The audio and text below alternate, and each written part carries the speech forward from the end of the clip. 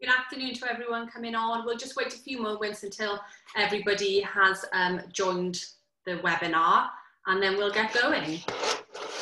You can see the numbers um, racking up.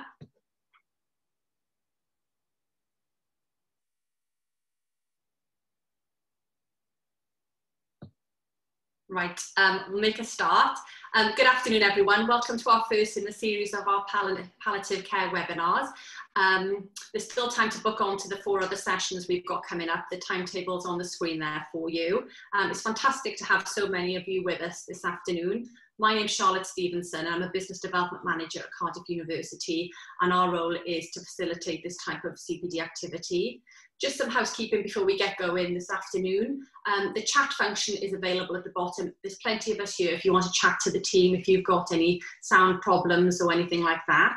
We've also got the Q&A open there. We'll have um, a Q&A session halfway through the presentation and at the end. So if you've got any questions for Jo or for um, Emily Johns, who will take the GP perspective, pop them in the Q&A and we'll make sure they get answered at the end. Um, we're all working from home, so please bear with us if there's any technical problems, noisy neighbours, etc. Um, that's enough from me. I'd hand over to our fantastic speaker this afternoon, Dr. Jo Hayes. Over to you, Jo.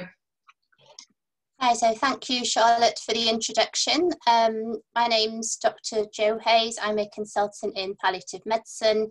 I'm based at the Marie Curie Hospice in Cardiff, and my clinical job is with the Community Specialist Palliative Care team. So out and about seeing patients with palliative and end of life care issues who are either in their own homes or in the nursing and residential homes in our area. Um, I also work for Cardiff University along with my colleagues who are listed there on the screen, uh, running the MSc programme in palliative medicine.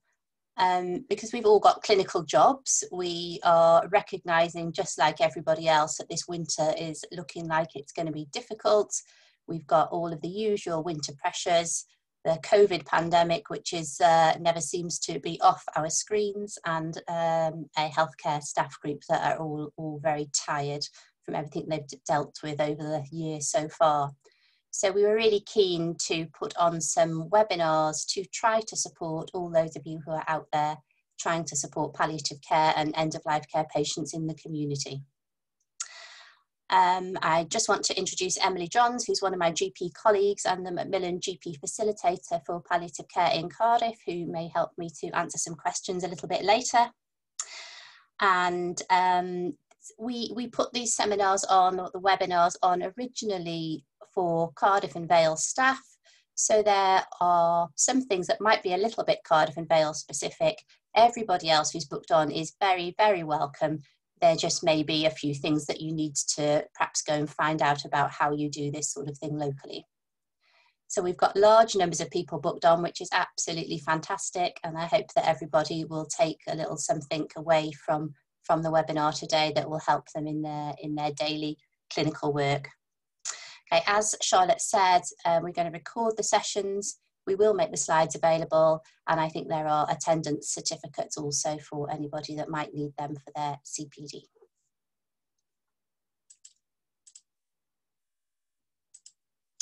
Okay, so uh, these are the specialist palliative care teams that I work with. They are mainly uh, nursing colleagues in the pictures and the odd doctor, but we also and quite, haven't quite captured them on screen, I also work with uh, therapists, physiotherapists, occupational therapists, social workers, and family support team members who do bereavement work. But enough about us. I wanted to ask a little bit about you guys, if that's possible. So I'm just going to, if we can, try and run a poll to just ask people what their main role is and the setting that they would normally work in. So I'd be really grateful if you could just click who you are on there for us. And hopefully everybody can see that coming up on the screen just to give us an idea about who we're talking to. So my husband's a pharmacist, I'll have to drum up some support from that side.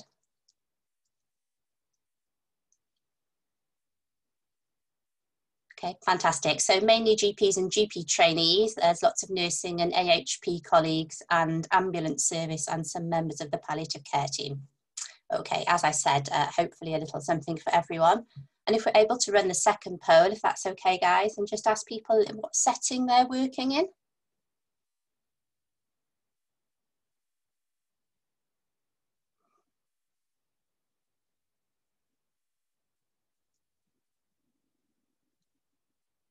Thank you. So mainly community, which is no surprise because that's where these, um, this webinar, this particular one was aimed. A fair chunk of people from nursing homes there, which is great. And some of my colleagues from specialist palliative care are also also listening in. Fantastic, thank you. I try to close that and see if I can advance my slides. Bear with me. There we are, okay. So fantastic that so many people have joined us. Um, one of the slight downsides on that is it's difficult to get a sort of small group session going with people able to speak on screen because there's quite a few of us. So if you, I'd be really pleased if people have got lots of questions, please put your questions on the chat function and my colleagues are going to help to monitor that and we will try to build in some time halfway through and at the end to try to answer as many of your questions as we can. Thanks. Okay, so what do we mean by palliative care? Uh, it's an approach that improves the quality of life for patients facing life-threatening illness. So it's about progressive and incurable disease. It often starts early on in a disease journey and it may even start before diagnosis in some cases and continues through and looks after people and their families right to the end, at the end of their life and afterwards in terms of bereavement care. It's about holistic care and covers physical, psychological, social, and spiritual issues. So, end of life care has been defined uh, by the Department of Health in, in the UK and England as concerning those people who are likely to die within the next year or people who are in the last year of their life. So we often think about end of life care as the last few days or the last few hours, but I think it would be helpful if we thought about it in longer terms than that, because that enables us to plan and to think about the future and to talk to patients and their families about what they might want.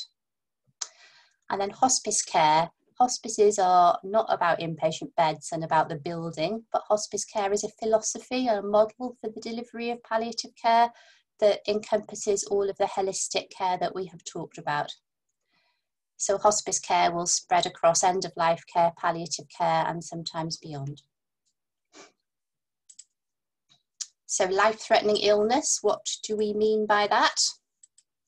So, palliative care was traditionally about cancer, and the first modern hospice started in London in the 1960s by someone called Dame Cicely Saunders who identified that there were lots of patients with cancer for whom there was no further active treatment. And she recognised that they had a lot of unmet need and nobody really trying to help them or to follow them up or to deal with their symptoms.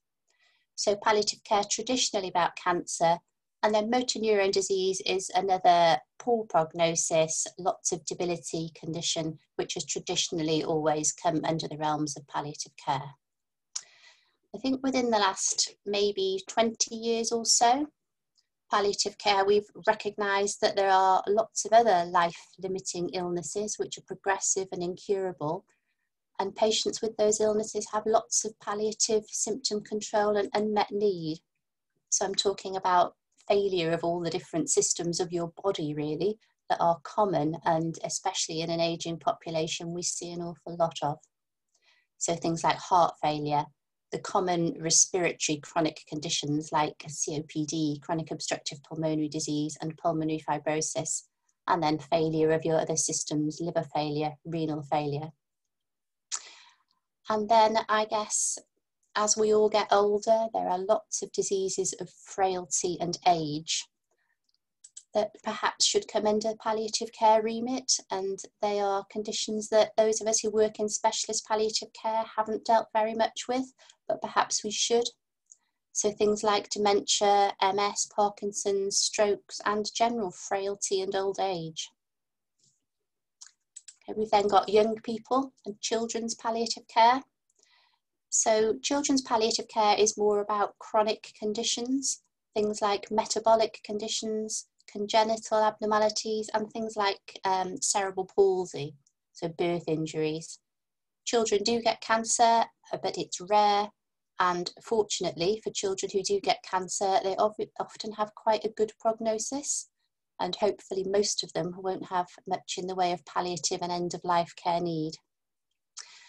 And then those children that are living with life limiting conditions that they may have been born with are fortunately again living to an older age, living past the age of 18, and then needing transition into adult services, which are often set up very differently from paediatric services, and that can be a difficult time for them. So, young people with things like Duchenne muscular dystrophy, cerebral palsy, cystic fibrosis, and conditions like that. And so we've then got COVID, um, which none of us had ever heard about this time last year, if you can imagine. In terms of cause of death, the September 2020 figures are the last ones that I have seen. And in England, COVID then was the 19th most common cause of death and the 24th in Wales. So it's up there in terms of common causes of death, but not the most common and not at the top. I realise that we haven't got October, November, and who knows what will happen over the months to come figures. But I guess it's just to focus on, you know, the most common causes of death are still going to be things like cancer, heart disease, and frailty. And we need to try our best to make sure that we are meeting the needs of those patients as well in a pandemic. Okay.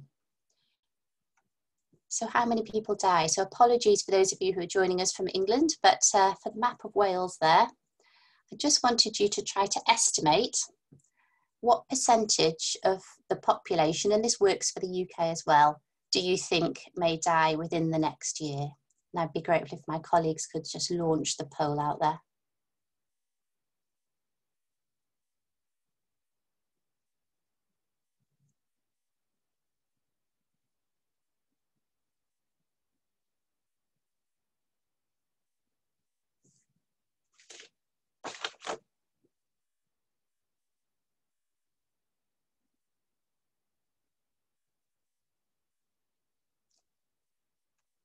Okay, great. So the majority of people have said 1% there. Thank you. There's a few going for higher, a few, quite a number going for 5% and some lower. Thanks. So 1%, those of you who picked that are correct. So within a year, in an average UK population, around about 1% of people will die. It's worth thinking about how that might relate to your area if you're working in the middle of Cardiff, for example, the population tend to be younger and slightly fitter, and there's a big student population, so it might be a little bit different. And in some areas of North Wales, where I'm from, there's a big retirement sort of aging population, and then they're going to have different needs, and your percentage of people dying could be a bit bigger. But on average, 1%. So about 30,000 people in Wales each year and about four and a half to 5,000 in the Cardiff and Vale area for those of you who are working locally. So and where are all these people?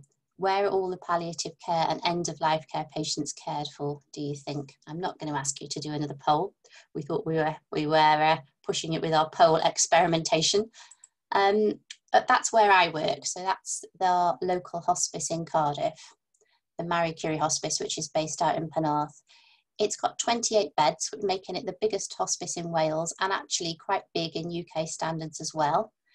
Um, I think the last time I looked at our figures of people dying within the hospice, it was somewhere between three and 400. And I've already told you there's probably four and a half to 5,000 people dying in the Cardiff and Vale area within a year. So actually, the number of people we look after towards the end of their life there is quite small. And it's the same for hospices elsewhere. The percentage death rates in hospices are probably about sort of four, five percent, and often less of the population. So that's not where all the palliative and end of life care patients are, even though those of us who work in that building and very focused on it think that they are sometimes.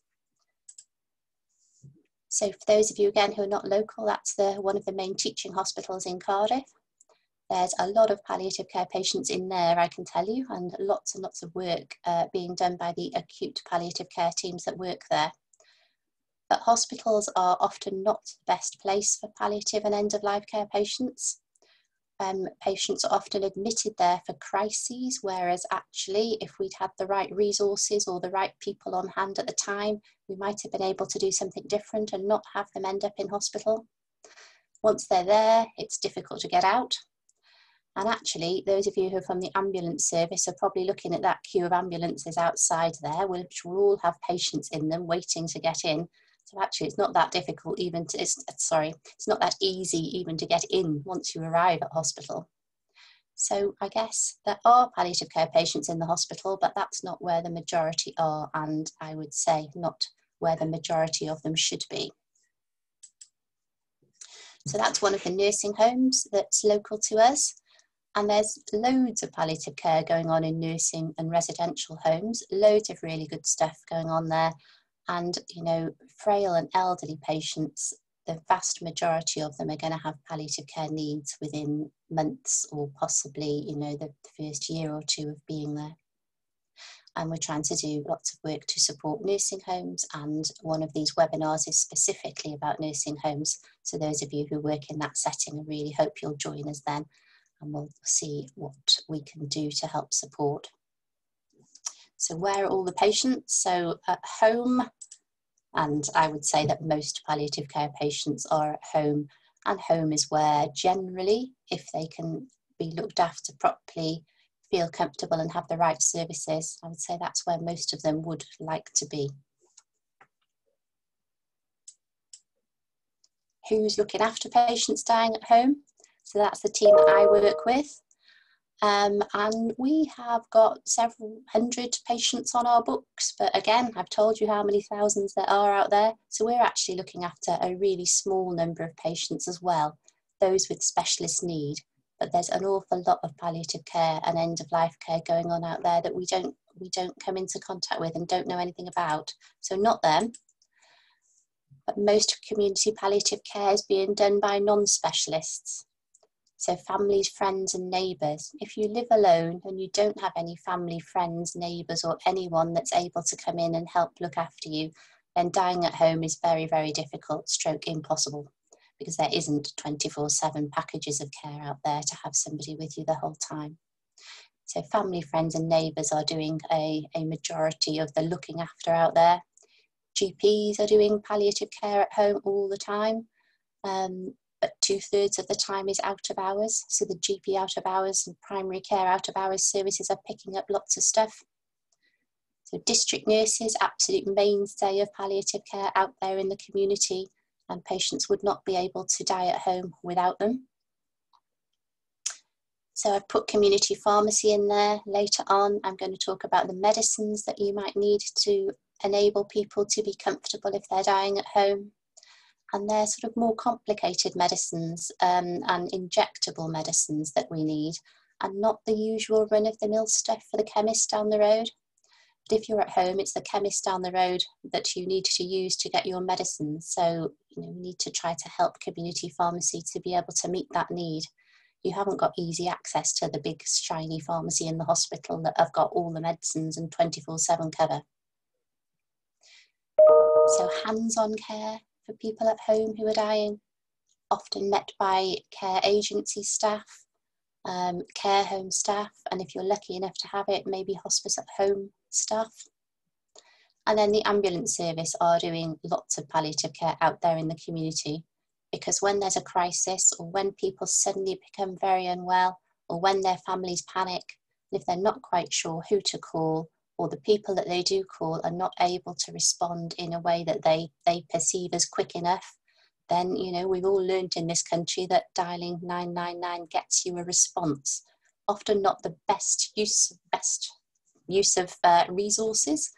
The ambulance service are also trying to sort of deal with, you know, everything else out there. But when they do respond to palliative care patients, they do a great job of trying to manage symptoms to do the right thing and to keep people at home if they can. And we've done lots of work with the ambulance service in Wales. And we'll talk, I'll talk a little bit more about that later also. So how do we know when people are in the last 12 months of their life? It can be really difficult to tell and it may depend on how well you know these patients it's very, very difficult if you're me and you sort of get parachuted in to see people you've never met before, and their family will look at you and say, Well, do you think they're dying? And sometimes it's obvious, but other times it's not. So this is one of the tools that we might use to try and identify where the people are in the last, and this says six months, but the last six to 12 months, let's say, of their life.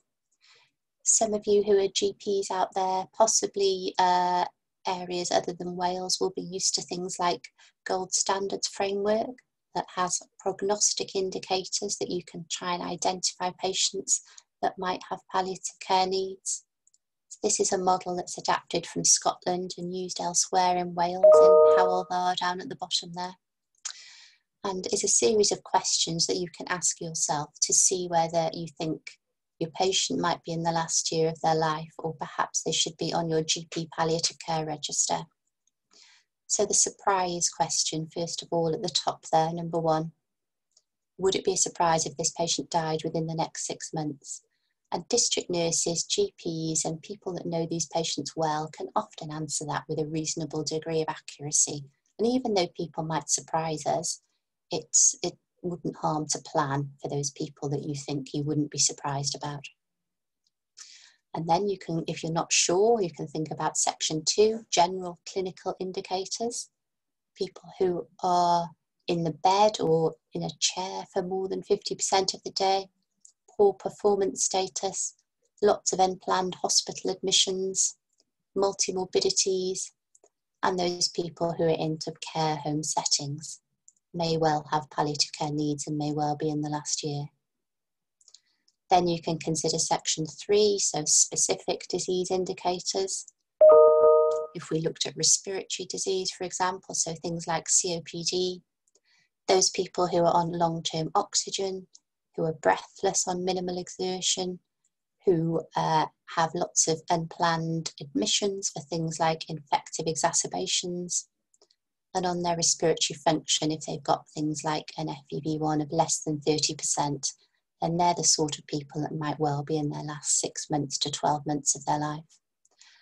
And I think the difficulty is with things like COPD and heart disease healthcare professionals that have been involved with these patients often haven't talked about these illnesses as being sort of progressive or life limiting or that you know they, their time might be short for them it's a little bit different from cancer sometimes and perhaps those patients haven't quite realized that they may need to plan and so down at the bottom there if your patients are meeting those criteria then it's worth trying to talk to them about the future think about their palliative care needs, maybe consider some advanced care planning, put them on your GP palliative care register, and review things like their medicines and treatment priorities. Those people are bouncing in and out of hospital all the time and maybe not perceiving much benefit from it. It's worth asking them, you know, what, what happens next time you're poorly? Would you like to go back in, or actually, should we plan to be looking after you at home the next time things aren't so good?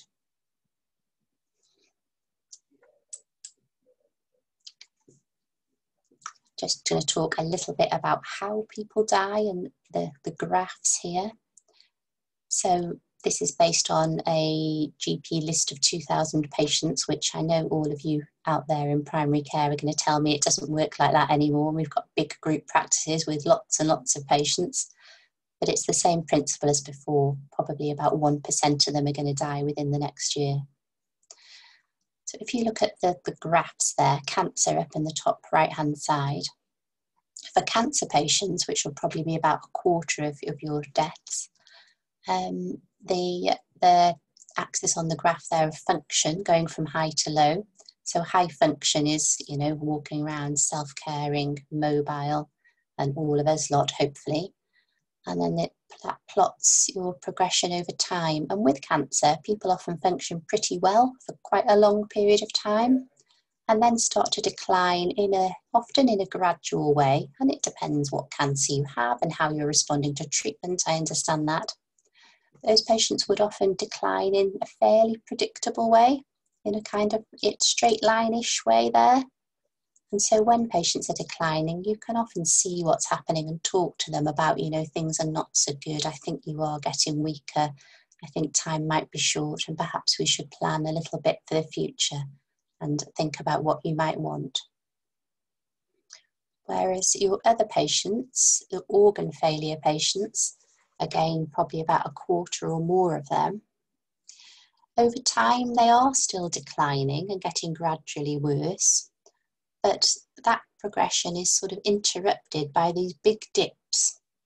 And they would be things like infective exacerbations of COPD or decompensating heart failure.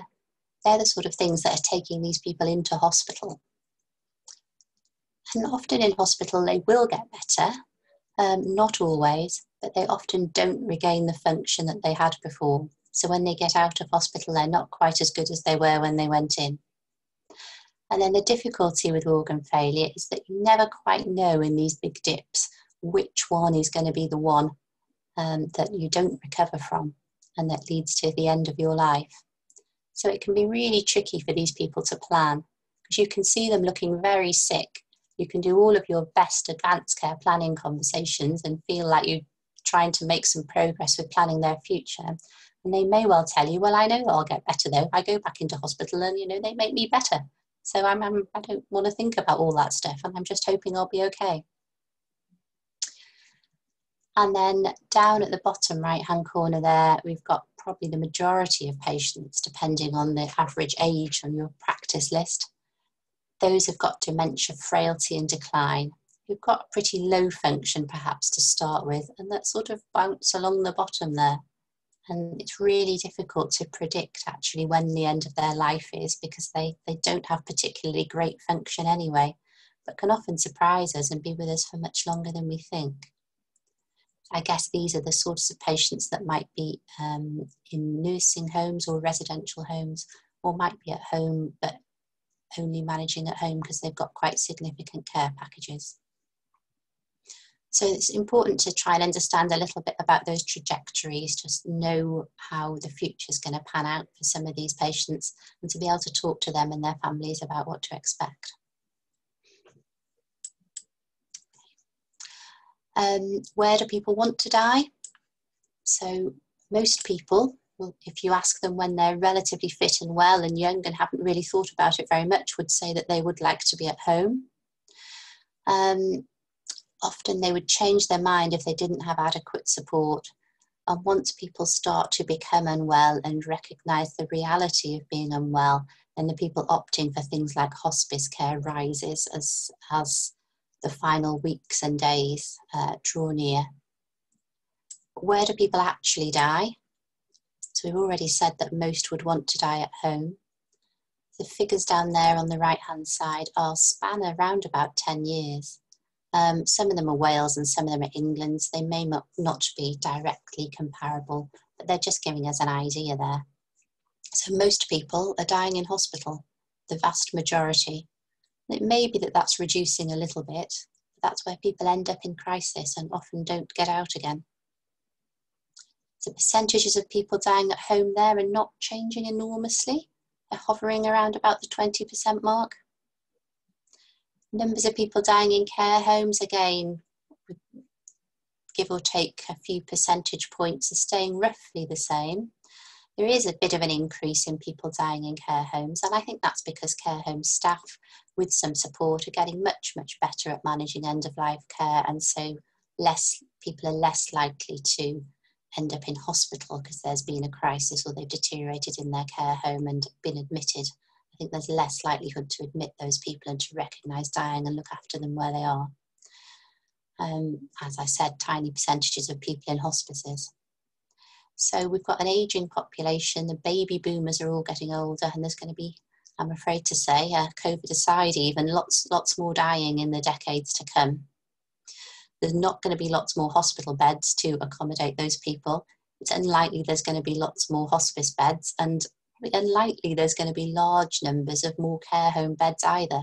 So actually, we we absolutely have to expand the numbers of people dying at home because we've got no other choice. So that means we need to support them adequately, educate people, and put all the services in place that we might need to enable that to happen. Okay. Um, I've talked a lot already, it feels like, so I'm going to stop there for a minute. I can't see the chat from where I am, so I'm going to hand over to my colleagues, if that's okay, to ask me any questions that you think might be uh, important to answer at this point, if that's okay. We haven't had any questions in the, in the Q&A just yet, Jo. So if anybody okay. wants to quickly type something in, I can ask Jo that right now. Or we have got the, the section at the end as well. So if you want the answer at the end, type it in in a few minutes time. If there's anything you want answered right now, you quickly pop it in. We'll get Jo to answer that. I think I've probably talked everyone into submission. I'm going to stop sharing my screen for a minute and just sort the next bit out.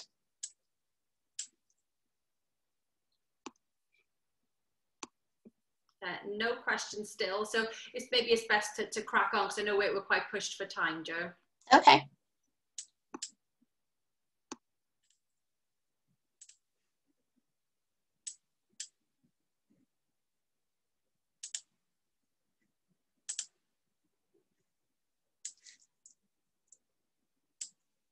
So while people are having a think, I'm just going to leave this, this uh, slide on for two or three minutes for people to just have a think about this particular patient, this particular case.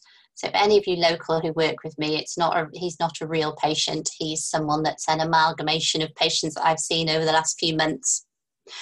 Um, I'm just going to think about what this gentleman at home might need, how to sort those things out that he might need, what to do with his medicines, what sort of services might be useful. So he's 70, he's got COPD, ischemic heart disease, and diabetes. He's also got cancer, diagnosed a good few months ago, and has been treated with palliative chemotherapy. So at the start of this year, his disease had progressed with the chemotherapy, and uh, he believes that his chemo was stopped due to the pandemic because he was called in and told that um, the treatment wasn't really working and that you know hospitals were about to become overrun with COVID patients, and they were probably a place to avoid at the moment, and that his his specialist thought it was a good time to have a have a treatment break. Shortly after that, he was admitted to hospital with shortness of breath, cough, general deterioration. He was treated with IV antibiotics, but whilst he was there, swabbed positive for COVID, which he hadn't when he went in, and insisted on discharge at this point. He was very upset that he couldn't see his family, and they were upset as well. And the IV antibiotics didn't particularly seem to be working. So at home, he, he was, and this was quite a rapidly set up discharge, so may not have had all the services that he might have needed in place at the time. He started to find it difficult to take his medicines and overnight became very agitated, had a fall, was seen by the ambulance service um, and district nurses, given midazolam several times with very little effect. He was looking very distressed, so was his wife, and oxygen saturations were found to be only 75% on air. I've listed his medicines there. Zomorph is the same thing as MST.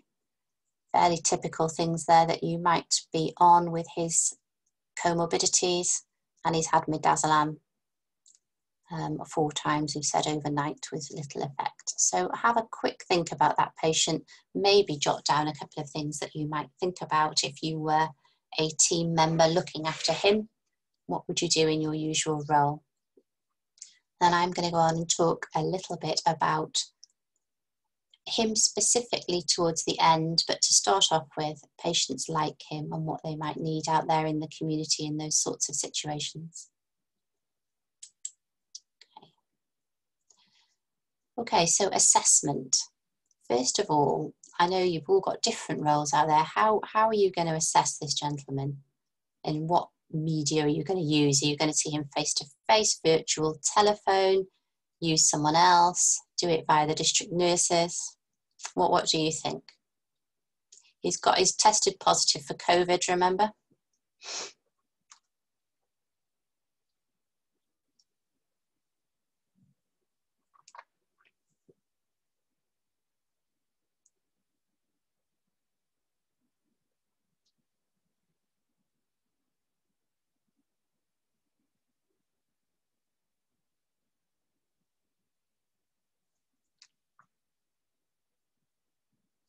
Okay, so we've got just under half people doing a face-to-face assessment. We've got video consultation and telephone for the other chunk via the district nurses. And I guess, you know, that's, um, I was quite surprised actually, that's quite a small percentage because they are other healthcare professionals that have already been there overnight and would be able to give you a proxy face to face assessment. And the asking palliative care to assess, um, yeah, we, we get lots of phone calls to go and see people like this and in an ideal world would have been referred him before he was being discharged from hospital. I have to say, I think I would prefer to assess him face to face if that was at all possible. Um, I've been to see patients like this out in the community, and it's very tricky to assess virtually. Um, but I realise we've all got to weigh up the risks and benefits and how many healthcare professionals are in there. And I'm not sure there's a particularly right answer, um, but it's it's it's tricky to do it not face to face. I think. Thank you. So place the situation in a longer context. This is patients generally and not specifically about the gentleman that I told you about.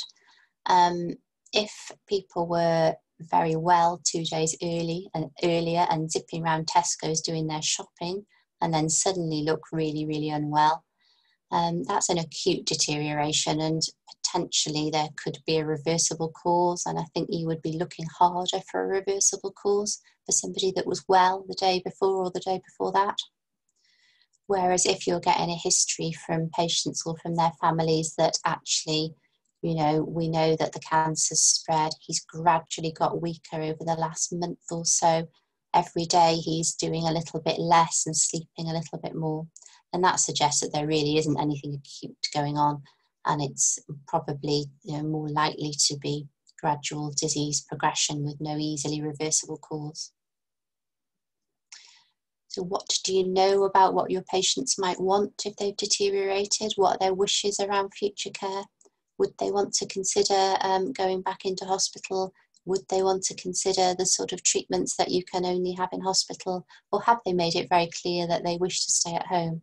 And often, if you ask, people will make their wishes clear.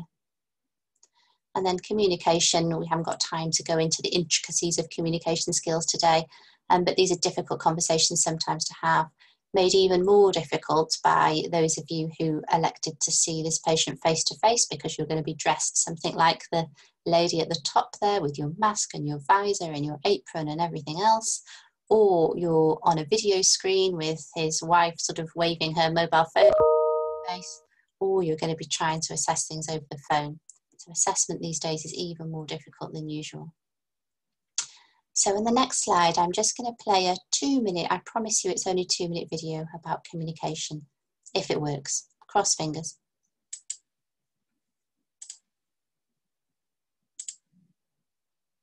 So, to talk a little bit today about some of the difficulties that we're all as health professionals going to face during this time of the COVID 19 pandemic. Unfortunately, many of us are going to experience many of our patients who will be elderly and have multiple comorbidities dying during this time. Communication is really important when we're looking after patients who are this sick or who are dying. But we're going to have lots and lots of barriers to communication that are going to make it really difficult. The things that we're going to have to face and get around is going to be wearing PPE, a face mask, a, a apron, gloves, a visor, all those things make it really difficult to talk to a patient. But there are ways that we can get around these things and still show that we care and that we have compassion for every single person. So, the first thing I would suggest is to remember the power of eye to eye contact because we can show that we care by looking at a patient. We can show that we feel connected to them um, by looking into their eyes. Second thing I would suggest is your tone of voice. If we can keep it gentle and kind, makes a huge difference to a patient. Just speaking slowly and gently. Third thing I would suggest is coming down to their level. If you stand over a patient who's feeling isolated and frightened, it makes them even more so. So just take a chair, sit down next to them, or crouch down. Just to be at their level makes a huge difference. Fourth thing is you can still take their hand even though you're wearing a glove and have that little bit of physical contact can bring great comfort. Fifth thing, keep language simple, speak in short sentences, and give a chance between things that you're communicating to your patient for, for silence. Try and be comfortable with that silence because that's the time when the patient is absorbing what you're saying to them.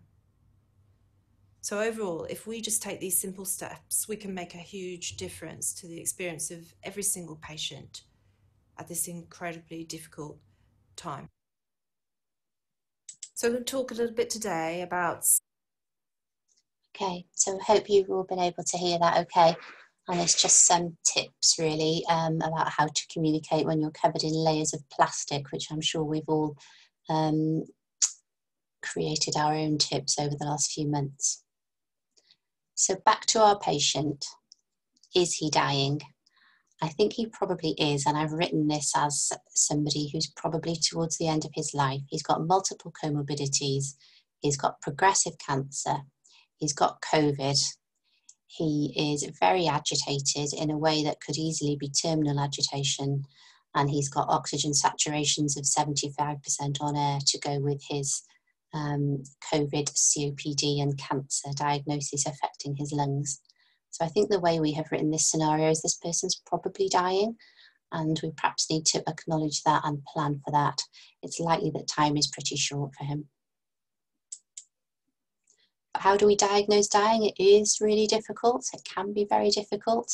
It sort of depends on how well you know the patient. It sort of depends on how much you know about their medical condition and often you are relying on people like relatives to describe those trajectories that I, I showed you in the earlier slides. So NICE guidance suggests that you can diagnose dying if you've got mottled skin and Cheyne-Stokes breathing, which to be honest, I think we could probably all diagnose dying if we can see those things happening in a patient. As that's not hugely helpful. Increasing fatigue, well, that, you know, could be me at the end of a difficult week in work. That's not very specific. Um, social withdrawal, that's all of us for several months of lockdown, isn't it? Um, I'm not, um, NICE guidance suggests that there's not enough evidence to recommend tools which predict prognosis, so I don't think that's particularly helpful. Um, pragmatic approach that I and my colleagues in palliative care use all the time is describing the trajectories really. If you're deteriorating month by month, then your prognosis might be in terms of months. On the other hand, if you're deteriorating each week, could well be in terms of weeks. And actually, if we reach the point where every day things are different, then it might be that time is now in terms of days. This works better if you're on the straight line bit of the cancer graph or the straight line bit of the organ failure graph and not in one of those big dips. But it's a useful sort of approach that I use all the time and it's come from uh, someone called Robert Twycross, just to reference him there. So the sort of challenges in the terminal phase of illness for people who are at home. So their functional decline, their inability to get up, move around, and look after themselves causes causes most of the issues and most of the reasons why they might need help. So often need special equipment like hospital beds, commodes. Our district nursing colleagues and allied health professional colleagues are really important people to help us with that. So we're lucky enough to have access to OT, physio, and social work colleagues within the hospice. But in the community, there are community therapists and, as you know, community social workers that can try and help to organise all of this stuff. Um, hands on care is often what people need the most. They don't necessarily need that highly specialist qualified doctors and specialist nurses quite so much. They often need practical hands on care. So things like agency carers, or if you're lucky enough, hospice at home. Um, not eating and drinking, we, we wouldn't usually, for people dying in the community, think about artificial fluids or artificial feeding, but it's a prime concern for patients and even more so their families. So it's we just need to address those things, talk it through with families that actually time is short, people's needs for food and fluid are, are much less. Um, it's not something we're able to do at home, and we've already said that you know you don't want to go back to hospital. and actually putting fluids up at this point wouldn't be helpful and might actually make uh, breathing more difficult and more bubbly at this point. So it's just going through those sorts of explanations.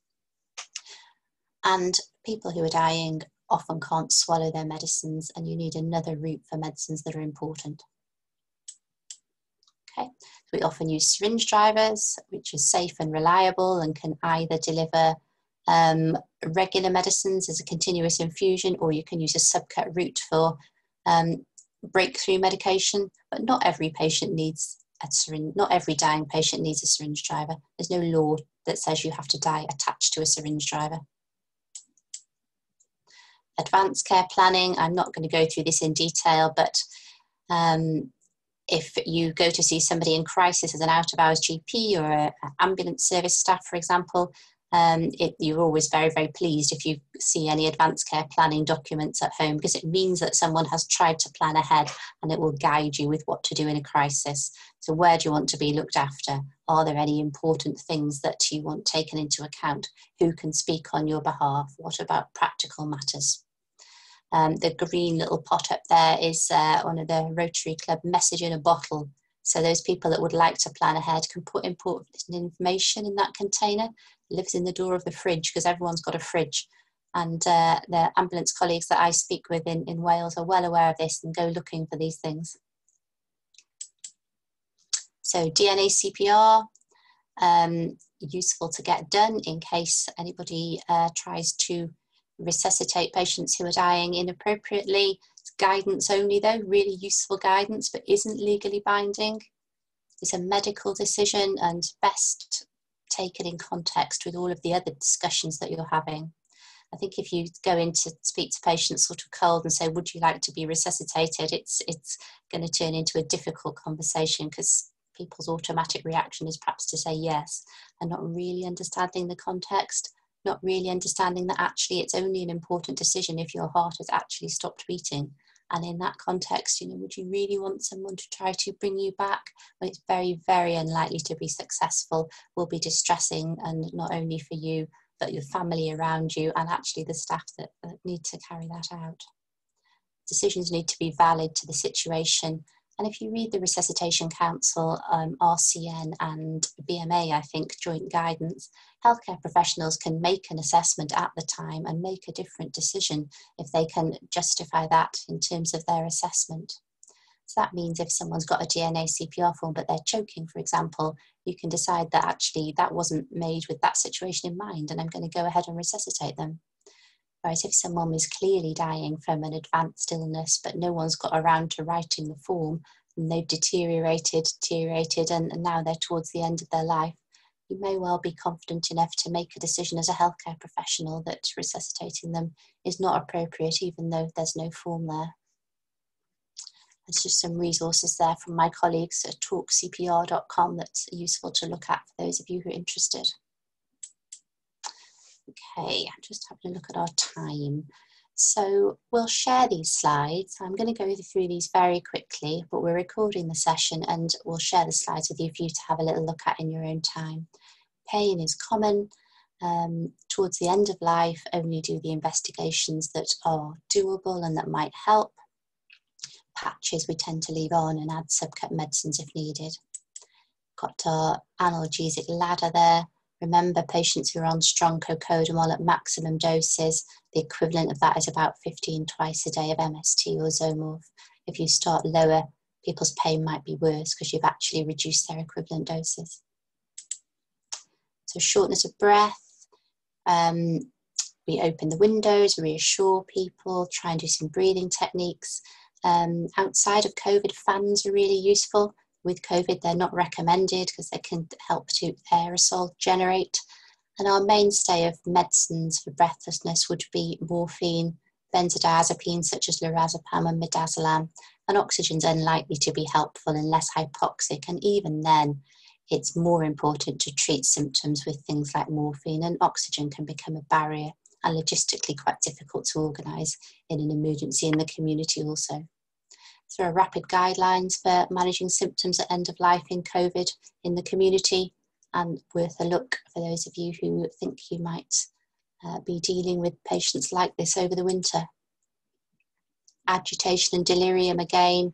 Um, we use medicines like levomepromazine, midazolam, haloperidol, and strike a balance between alertness and comfort. The gentleman that I told you about was very agitated and is probably going to need sedation in order to die in a comfortable way. Death rattle or increased respiratory secretions. We use medicines like hyoscine hydrobromide, buscopan, or glycopyrronium. Um, they're often not that effective, especially if they're started late. And actually, it's much more important to reassure families um, that it's often just a noise in the back of the throat that patients look like they're not really not aware of a lot of the time. It's often because they're deeply unconscious. And positioning can help. Sitting people up or putting them over onto their side can be really useful. In inpatient settings, suction, a little bit of gentle suction, sometimes helpful, um, not for COVID and often not available in the community. Okay. So medicines, uh, we need anticipatory injectable medicines for end of life care for people who are dying, for things like pain, breathlessness, agitation, nausea and vomiting and secretions, as I've said. They need to be uh, prescribed on a chart in most, most community settings that I have worked in. Check the options. Uh, this is what's in Cardiff. I, this is a document in Cardiff that will tell you how to access medicines in community settings. If you work in Cardiff and haven't seen it, I would read it. it tells you where all the chemists are, what time they're open, gives you numbers, including mobile numbers, and gives you a list of the medicines that they hold. I won't go over this flowchart in any great detail, um, but that tells you what to do if the chemists are not shut or they haven't got what you want, and in the end, can access medicines via hospitals where we work. For those of you who are working elsewhere, you need to check out what your local arrangements are. GEMP, just in time emergency medicine packs, are something that is a COVID um, service set up at the beginning of this year, a single point of access where you can deliver this little group of medicines at the bottom there to anybody anywhere in Wales um, with a timescale of one to two hours and has been really successful. So you can, if you can't get medicines from elsewhere through the usual channels, you can write a prescription, you can hospify it, which means it's like WhatsApp. You take a photo of it and send it securely to a health courier service. And uh, a guy like Dave here that was very perturbed at me taking his picture will come and uh, pick up your prescription and deliver medicines to patients. Very quick uh, look at the ambulance service in Wales another COVID initiative. They have got just in case end of life care medicines on every ambulance, which allow paramedics to administer the medicines for symptoms like breathlessness, anxiety, and agitation. If you have a look up there, um, about half and half medicines were given in own homes or care homes. Most of them were given for people with either cancer or frailty and dementia, and hardly any for COVID. And most of the medicines given were things like midazolam rather than opioids. So, what do patients need when they're dying at home? Well, all of those things really family specialist advice, hands on care, primary care team, and some medicines, some equipment, and, uh, and a few bits of paper. And what I haven't put there are all of the different people who might be involved. So we're just going to do our last poll if that's okay and just to give us an idea what's the most difficult thing about managing patients at home.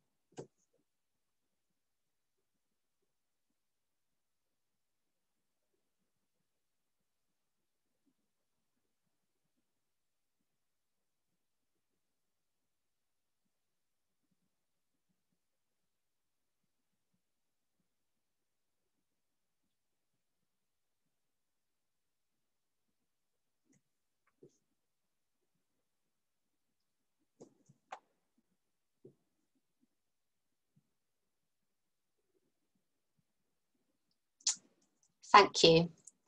I think I would agree with that. Organising care, um, as nearly half of you have said that, and I think I would find that the most difficult.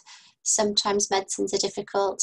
Um, I hope that palliative care teams are accessible, but I, I, completely appreciate out of hours that can be tricky.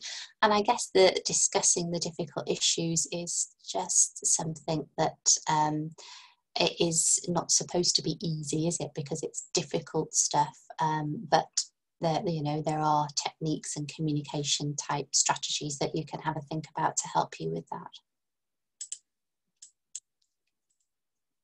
So quickly for our patient, what are we going to do with his medicines? The Zomorph and the haloperidol or an alternative, we're probably going to put in the syringe driver.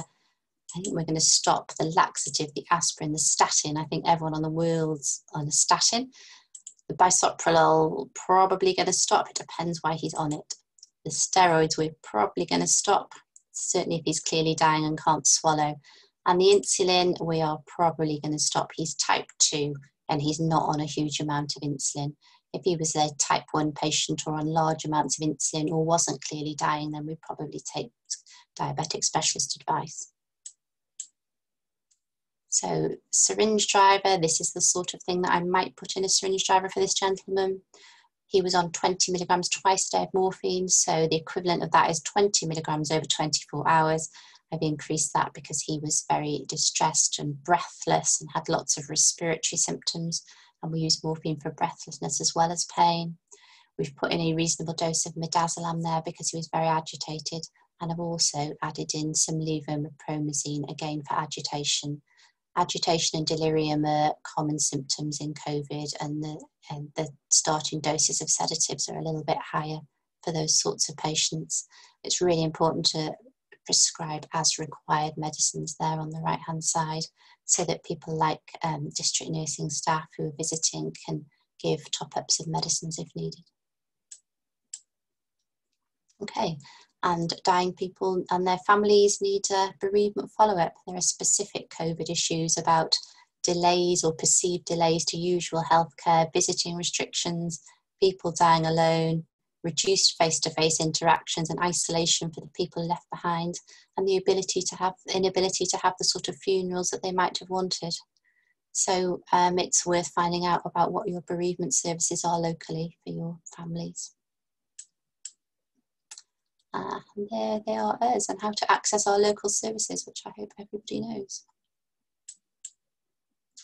and there's some useful resources there Okay, so I'm going to stop there. I think we're almost at the end of our hour, but I'm very happy to try and answer any questions if anybody has them. Thanks, John. I'll read out a questions. I think there may be a bit of an echo with the presentation in the background. Um, hi Jo, a general question, but just wondered whether your opinion is of referral criteria for specialist palliative care, given what you've said about the small, oh, I've lost that, small proportion overall dying patients by your team. Um, so I guess that people are saying, should our referral criteria be wider so we pick up more people? I think that might be what's being asked. Um, I, I can only speak for our team. I guess we don't have very strict referral criteria and are very happy to discuss any patients and have a, a conversation over the phone and even if we don't see them to advise or to give you things that might be helpful and then for you to come back to us if needed. I guess specialist palliative care and the numbers of people working in specialist palliative care are reasonably small. So we are, the way things are set up at the moment, only going to physically see and manage um, you know the, the people with specialist need but very happy to advise on the others very happy to talk through patients and i guess in doing things like education and research and um, influencing services strategically, we're also trying to sort of throw the net wider in that way. Okay. Um, thanks, Jo. Um, from a professional what do you feel are some of the biggest barriers using home as a place of care and a place of death? And how can we come together towards making home a more viable option for patients and families? Um, I guess it's all of those things that I have said, isn't it? The need for all of this lot. Um, if I'm sharing my screen okay there, let's have a look. Yeah.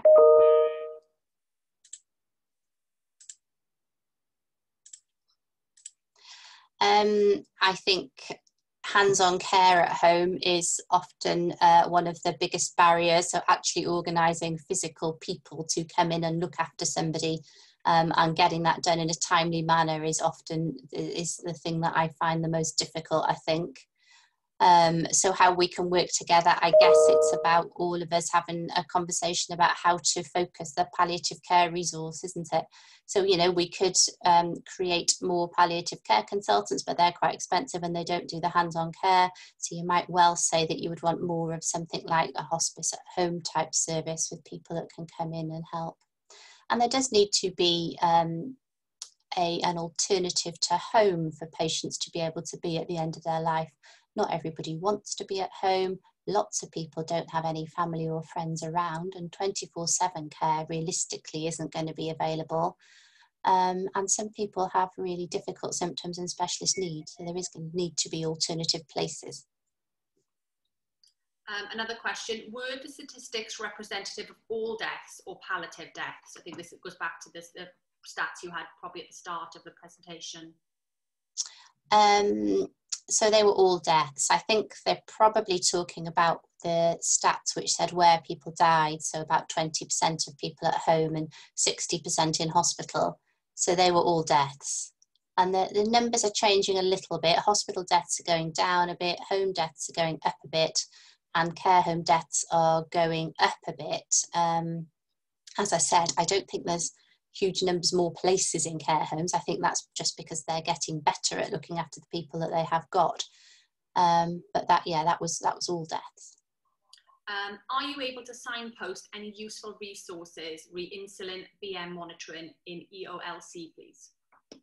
Well, okay. Um, there's a document from Diabetes UK. I think if you Google Diabetes UK end of life care, brings you a great document, which is long, but has got lots of pretty graphs and pretty colours and flowcharts in um, that will tell you how to manage diabetes towards the end of life. And it depends whether people are in the last few months, last few weeks, or last few days.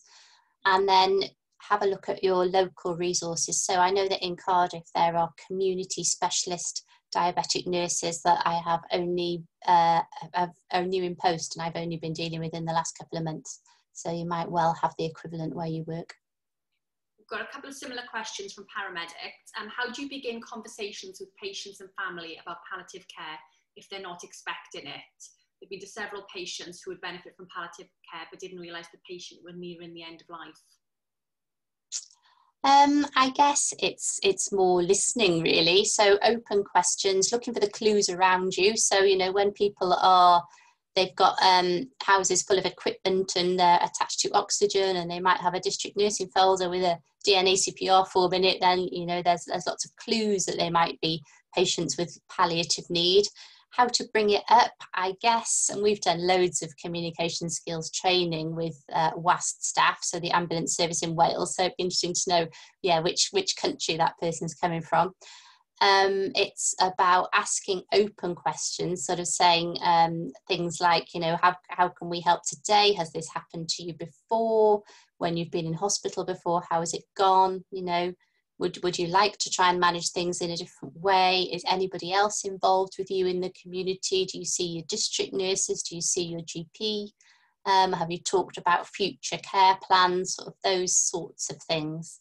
Um, but it is it is difficult. It's especially difficult if you're ambulance service staff who are parachuted in in a crisis and have never met that patient before and often have very little information when they're on the call.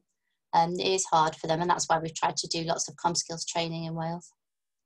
Um, we, have got quite a few questions, but I know we're, we're, short on time, so I'll try and pick out some. Um, and Emily, do come in if you've got um, any perspective here you want to jump in. Um, can you expand on that uh, on that medicines delivery service? Um, they weren't aware of that. Okay, um, so the GEMP scheme, uh, it depends whether they're in Wales or not. It's a Wales only scheme. Um, it, it was for COVID. It's about delivering a set box of drugs which will uh, will enable you to address symptoms when people are dying and it's about getting them to that patient within a couple of hours anywhere in Wales. So it was set up during the start of this year. Um, it's clever really because you can write a prescription and you don't usually with controlled drugs you then have to deliver that actual piece of paper to a chemist and get things dispensed. Whereas the way the GEMP scheme is set up, you take a photo of your prescription um, and Hospify is just an app which is the same as WhatsApp. but a secure clinical channel. You send your photo to the health courier service and they take the medicines to the patient. Um, the link to the service is on the slide actually, so if you're going to share the slides, there's a, a link to the website, which is the All Wales Therapeutic Centre website, which tells you exactly how to how to do that. We'll, we'll do two more because I know we've, we've run over and we're losing a few people here. Um, somebody was wondering what your referral criteria was. Um, so we don't have particularly tight criteria, I have to say. It's patients with progressive um, life-limiting illness, um, things like uh, symptoms or in need of psychological support, and I guess symptoms that are more in the specialist realm, um, you know, rather than those that could be quite easily dealt with within primary care um, or within other hospital settings if we're talking about secondary care. So we haven't got very strict criteria written down actually. Um, and you sort of take in all referrals and if we feel that we need to go back and discuss those with the referrer then we do that. I don't know, Emily, do you want to comment at all on referral to palliative care because you're coming from a GP perspective? Um, I suppose if you've got any patients that have got more complex needs or any symptoms that you're struggling to manage yourself, then obviously um, specialist palliative care is needed. Um, we were talking a bit earlier on about um, the prognostic indicators and you know sort of frailty and things obviously if you've identified people as being um, frail and you've coded them on your palliative care register that doesn't necessarily mean they instantly need a referral into specialist palliative care um, but it could just be a little trigger for you to think about um, you know, some future care planning. Um, and then if problems did arise further down the line with difficulties in symptoms or, um, you know, complex complex issues, then um, a referral to the team would probably be indicated then. Brilliant. Last question. As a newly qualified OT who hasn't worked a lot yet with palliative patients, how can I best support patients to engage with their therapy and rehab when they're when they're aware they're on a palliative end of life care? How can I best ensure their comfort when engaging with them in therapy? Any advice is appreciated. I guess um, ensuring their comfort is hopefully they have uh, had their symptoms as well controlled as possible. And if things like pain and nausea and breathlessness are as well controlled as they can be, then that would help them to engage with their therapy. Um, I guess even though patients might be palliative and might have a limited prognosis, the therapists have absolutely loads to offer in maximising um, what function they have got and what potential they have got. So my therapist colleagues um, who work in the hospice and out in the community with us frequently help people to achieve um, things that they, they didn't feel they would be able to, sort of improve mobility or to provide them with special equipment so they're much more capable of looking after themselves at home. So it's about um, helping them to make the most of the function and the goals that they do have. Fantastic. Um, I think we'll sort of end the session there. Um, Jo, Emily, have you got anything else you want to say in conclusion? Just thank you all for attending. It's lovely to see so many of you interested and wanting to learn more about palliative care. Yeah, thank you so much for your time. Sorry we've run over a bit. Please, please fill in your evaluation forms because that would uh, give us a case for talking to the university about further sessions like this. And I hope you've all gained something from this afternoon. Fantastic. Thank you all for attending and thanks to Jo and Emily for their time this afternoon. Um, I hope you've all got a lot out of that. And as Jo said, please complete the evaluation when we circulate it because it will give us some momentum to put more um, free events on like this one. Thank you all. Take care.